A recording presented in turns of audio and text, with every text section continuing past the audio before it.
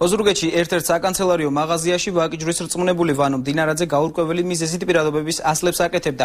ამ ფაქტს შემთხვევით ინფოცხრის გადამღები ჯგუფი შეესწრო, რომლის დანახვაზეც მან სასწრაფოდ გადამალა რამდენიმე ათეული ასლი და 10-მდე პირადობა.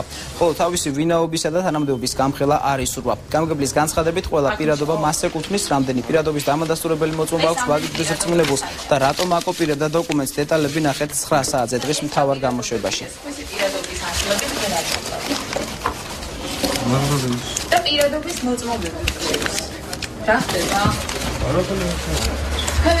ხომარიც ეს პიროვნება ვინ არის თქვენ? მე ვიცი რომ ნათესავია ჩვენი პროცეს. დიახ, და სახელი და გვარი ხომარიც. როგორ არის? თუ შეიძლება სახელი და გვარი? ვანოქია, მაგრამ გვარი ფეო.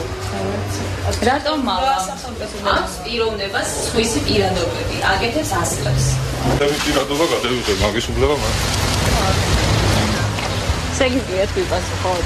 კომენტარს არ ვიმართეთ ფეს სამსახურს. ფეს სამსახურმა რა უნდა მიპასუხოს? თქვენ რატომ წამოიღეთ ამდენი პირადობები? ჩემი ჩემი პირადობას მე გადავიდე. თქვენი არ იყო იქ უამრავი იყო.